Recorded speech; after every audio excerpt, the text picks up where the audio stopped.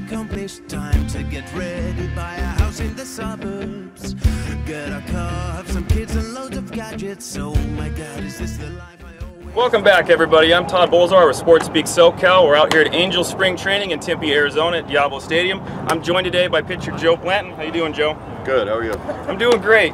I spotted you in the locker room and I noticed you're in tremendous shape. Can you tell me a little bit about the process that you've been going through in spring? And uh, basically, do you have any advice for anybody out there also trying to work out and kind of get in this great shape? You know, uh, I think it starts uh, starts with diet. One, just trying to just trying to get a clean diet, and uh, other than that, uh, workouts just varied up.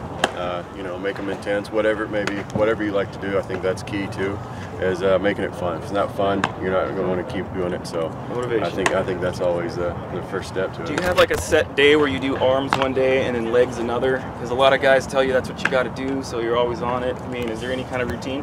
Uh, it varies a little bit. Like I said, you know, I like to mix it up. Um, it depends on the day. You know, we're on kind of that five-day rotation of starters, so I keep it.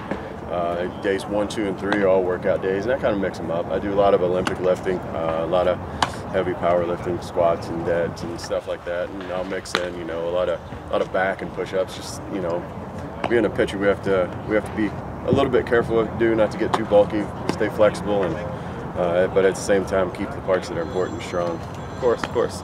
So uh, we're working on a couple of pitches, and I know you can't give away your whole repertoire or anything like that. But is there any one pitch that you are working on this spring that you're really trying to nail down? Uh, for me, it's you know it's not necessarily one pitch, but uh, you know just maybe a week or so ago, I moved I moved to the other side of the rubber.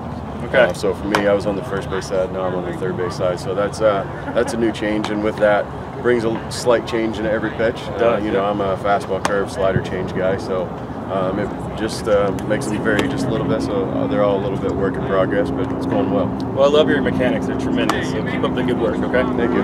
All right, this is Todd Boldizsar with SportSpeak SoCal at Angel Spring Training. Keep it right here.